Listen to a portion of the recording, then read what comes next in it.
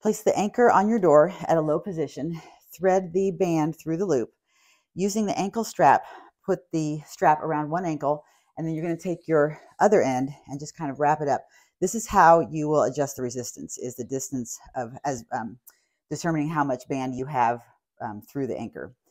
So from here, you'll take a step back, bring the working toe behind you, and then tighten up the glutes.